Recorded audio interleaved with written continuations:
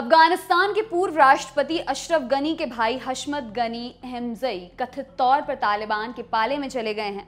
Media reports के मुताबिक उन्होंने तालिबान को समर्थन का फैसला अलहाज खलील उर रहमान हक्कानी के साथ हुई मीटिंग के बाद लिया है। ग्रैंड काउंसिल ऑफ़ कुचस के प्रमुख हशमत गनी ने अपने समर्थन की घोषणा तालिबान के नेता खलील उर रहमान और धार्मिक स्कॉलर मुफ्ती महमूद जाकिर की मौजूदगी में की। अशरफ गनी इस समय अपने परिवार के साथ संयुक्त अरब अमीरात में है। काबुल पर तालिबान के कब्जे के बीच 15 अगस्त को अशरफ गनी देश छोड़कर भाग गए थे। हालाँकि अफ़गानिस्तान में सरकार के बेदखल होने के बाद उन्होंने अपनी बात सामने रखी थी। फेसबुक पर जारी वीडियो में अशरफ गनी ने बताया था कि अगर वे मुल्क छोड़कर नहीं जाते तो बहुत खून खराबा होता। वे अपने देश में ऐसा होते नहीं देख सकते थे, इसलिए उन्हें हटना पड़ा। गनी ने वीडियो में कहा था तालिबान से हुए समझौते में साफ़ कहा गया था कि वो काबुल शहर के अंदर नहीं आएँगे। रविवार, यानी कि 15 अगस्त दोपहर, मुझे मेरे गार्ड्स ने बताया कि तालिबान राष्ट्रपति महल की बाउंड्री वॉल तक पहुँच चुके हैं।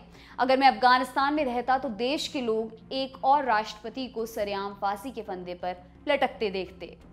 17 जुलाई को काबुल में रूसी दूतावास की तरफ़ से बयान जारी करके दावा किया गया था कि अशरफ गनी अपने साथ चार कारों और एक हेलीकॉप्टर में भरकर कैश ले गए। ये भी दावा किया गया था कि कुछ कैश जब कारों और हेलीकॉप्टर में नहीं समाया तो उसे लावारिस छोड़ दिया गया, इस पर अशरफ गनी ने कहा।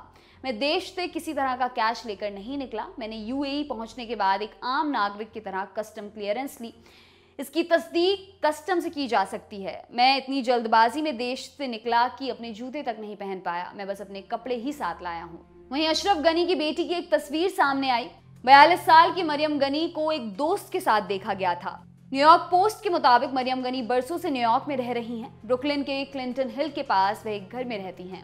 कहा जाता है कि विजुअल आर्टिस्ट और फ़िल्म मेकर मरियम का जन्म और पालन पोषण अमेरिका में ही हुआ है।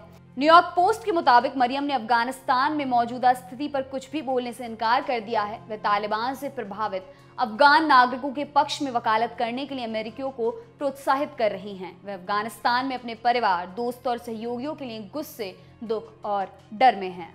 आपके लिए खबर लिखी है हमारे साथी डेविड ने। मेरा नाम है दिव्यांशी। देखते रहिए the Lallan talk.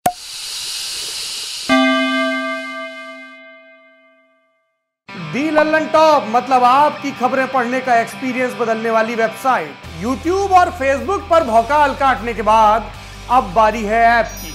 Lallan top app, जो लॉन्च होते ही कुछ ही घंटों में बन गया था नंबर वन प्ले स्टोर से एंड्रॉयड ऐप इंस्टॉल कीजिए और जुड़े रहिए लल्लन टॉप खबरों से। अब एक ही जगह पर मिलेंगे पॉलिटिकल किस्से। लल्लन टॉप शो चुनावी कवरेज पड़ताल और आसान भाषा में। पाइए लल्लन टॉप की वीडियो सबसे पहले फेसबुक और यूट्यूब से भी पहले। खबरें और वीडियो का आपको मिलेगा नोटिफिकेशन बड़ी खबर हो या फिर हो, किससे? सब आपके फेवरेट सेक्शन आपको हैं बताने। इतना ही नहीं क्रिकेट मैच का स्कोर और इलाके में मौसम का ज़ोर भी जानिए। आज ही गूगल प्ले स्टोर पर जाइए और the Lallan top app install कीजिए।